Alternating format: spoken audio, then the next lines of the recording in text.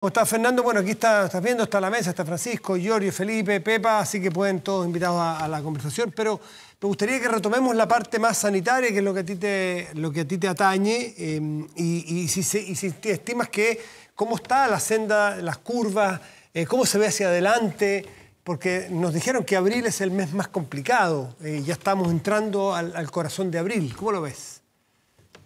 Bueno, eh, lo que podemos ver es, digamos, que se estamos viendo por ahora de manera muy visible, de manera muy notable lo que pasó en China, lo que pasó en Europa, lo que pasa en Estados Unidos. Esos son países que tienen una gran capacidad de respuesta más allá de dificultades por las que han pasado. Los países de Latinoamérica se espera que tengan una cantidad de casos muy grande, aunque en muchos países no van a tener capacidad de hacer tantos diagnósticos como está haciendo Chile. La ventaja que tiene Chile respecto del resto de los países es que está pudiendo llevar adelante los diagnósticos, está haciendo una cantidad masiva de diagnósticos, está preparado aproximadamente. Y, eso permite cortar, eh, em, vamos a decir, cortar las, las cadenas de transmisión. Pero todavía, Matías, es muy temprano para que podamos decir si se va a poder eh, bajar suficientemente el, máximo de casos, el, el pic de casos, como dicen aquí, este, y, evitar sobrepasar la capacidad de los establecimientos. Mm. Ahora vamos a ver que va a haber un aumento de capacidad porque van a estar inaugurando em, más establecimientos, más camas, y, eso va a dar una gran capacidad de respuesta al país, pero no podemos saber si se va a superar la capacidad o no. Em, y bueno, y los estudios dicen que en abril se va a dar ese máximo, ¿no? Vamos a ver.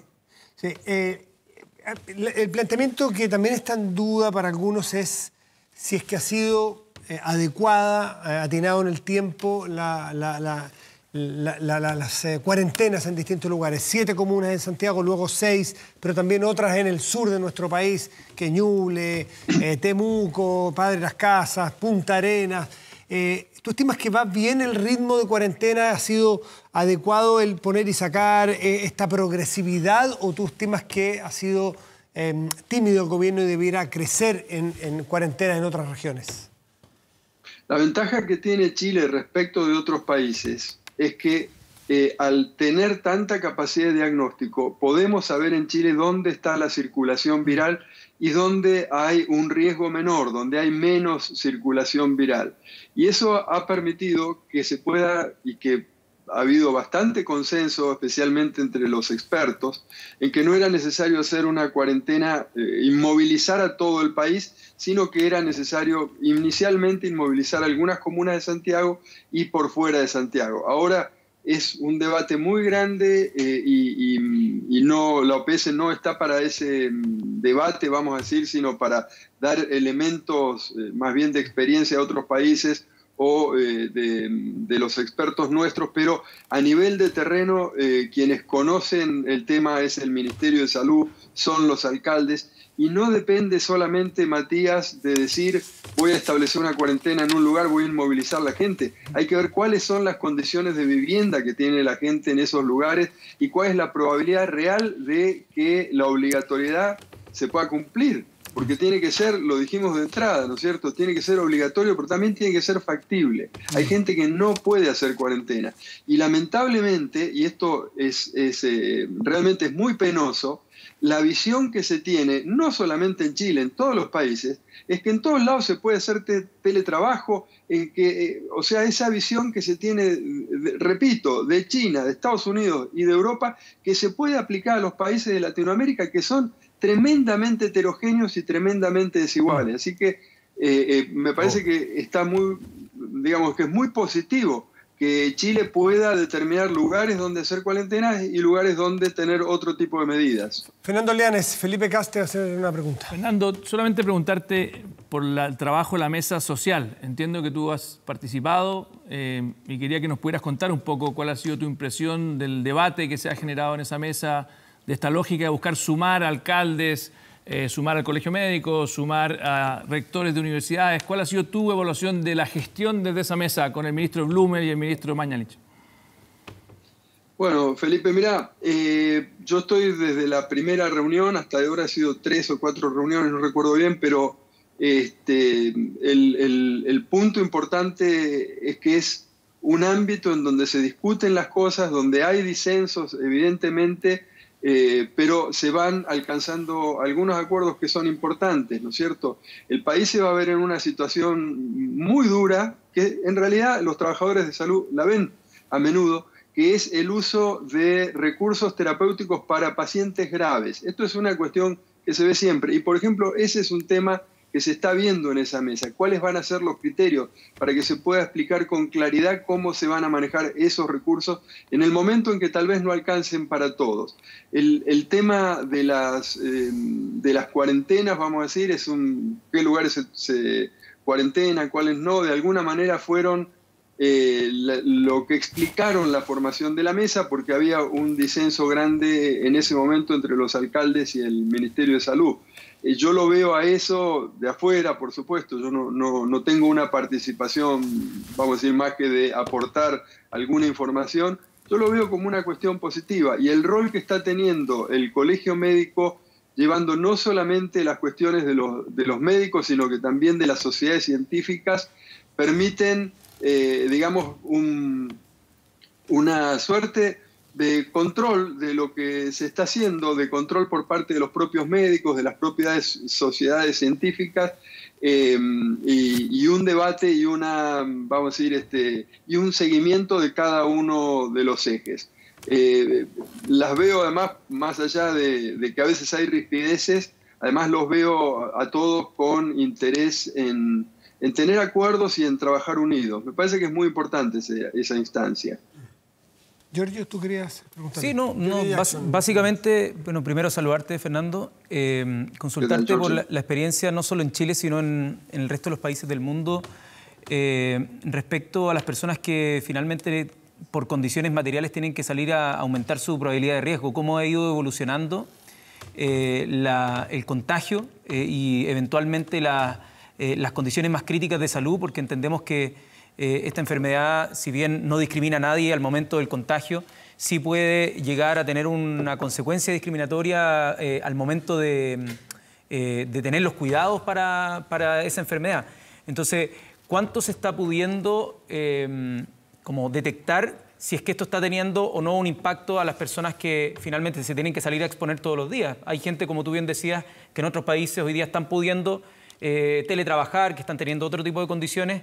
Y cuando tú decías esto de que hay lugares donde la cuarentena no es factible, eh, ¿qué se hace para que sea factible? ¿Simplemente es un costo, entre comillas, que, no sé, los analistas están haciendo del, sistema? Eh, porque cuesta mucho mirar las vidas como, entre comillas, algo, algo que sea no factible. Entonces, ¿cuál es la alternativa para esos lugares donde, como tú bien decías, parece no factible la, cuarentena? ¿Qué se hace en esos casos?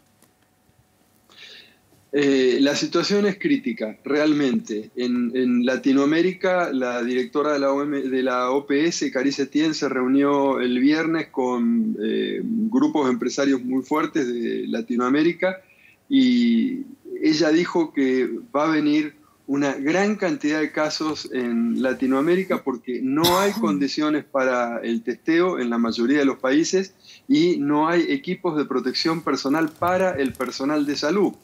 Entonces, lo que estamos viendo es probablemente un número de fallecidos que debe ser un poco distante del verdadero, porque hay fallecidos que no tienen diagnóstico, y un número de casos que debe ser bastante inferior al número de casos total, porque solamente en varios países solamente se están eh, testeando los casos eh, y diagnosticando los casos eh, graves. Entonces, lo que estamos viendo es la punta del iceberg y sumale a eso el tema de la falta de equipos de protección para el personal de salud.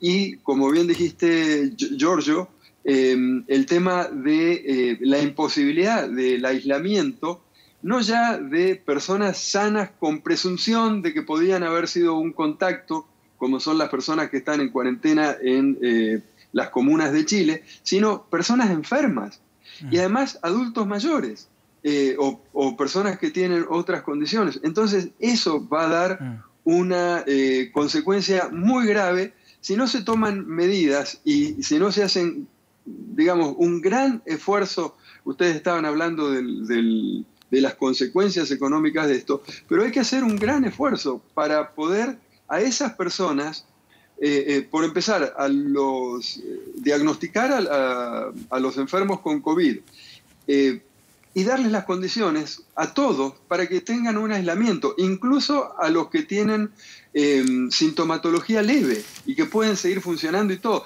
Y además hay que darles condiciones de aislamiento a, los, a las personas de mayor edad para que no se contagien. Entonces, es un reto muy grande, es, eh, em, hay que hacer un esfuerzo económico muy grande y esto, digamos, se en muchos casos se podría evitar si se hubieran eh, diagnosticado y cortado las cadenas de transmisión, mm. buscando los contactos, etcétera, ¿no? Va a ser, eh, va a ser grave, no hay una salida mm. sencilla para esto. Fernando, por, último, en África lo mismo. Sí, Fernando, por último, tú planteas que Chile ha tenido la posibilidad, más que otros países, de testear, con lo cual tener una ruta de este virus y poder tomar las medidas más adecuadas y enfocadas. Sin embargo, cada vez que uno escucha a alguna autoridad, o recién hablábamos con alcaldes de dos ciudades que están con problemas importantes, nuestro talón de Aquiles y cómo serán otras partes que tienen menos recursos son las camas críticas, los ventiladores, porque en algunas partes estamos con un margen de 10 ventiladores, 3 ventiladores que quedan libres. En Punta Arenas 2. Punta Arenas 2. Eh, ahí estamos en un problema. ¿Qué, salida tiene eso? ¿La única salida la que subimos de Italia y otros países donde hay que elegir una vida por otra? eso de elegir una vida por otra es una cuestión que ocurre, eh, o vamos a decir, tener eh, los médicos de cuidados intensivos están acostumbrados a tener esas decisiones y eh, hay que tener un manejo ético de eso. y eso es una cosa que se está trabajando. Todavía esperemos que no llegue ese momento o que se llegue, llegue puntualmente en algún, en algún lugar. Pero mientras se está haciendo este trabajo de cuarentenas y de demorar el desarrollo de la epidemia, hay que ir trabajando en cubrir esas, esas, este, esas falencias. Eh, ahora la Fuerza Aérea Chilena está trayendo equipos de China, o sea, el, trabajo que se está haciendo no, de preparación no, no ha terminado. Hay que seguir eh, generando esas condiciones y el ministro de Salud vemos que está permanentemente con ese tema, ¿no? Mm. Fernando Leanes, representante de la OMS y la OPS en, nuestro país. Eh, muchísimas, ¿Querías que con alguna pregunta, Pepa? No, no vi que me pidieran. Fernando, muchísimas clarísimo. Clarísimo. Fernando Leanes, muchísimas gracias por este contacto aquí en Estado Nacional. Que esté muy bien, buenas noches. Chao. Buenas noches, cuídense.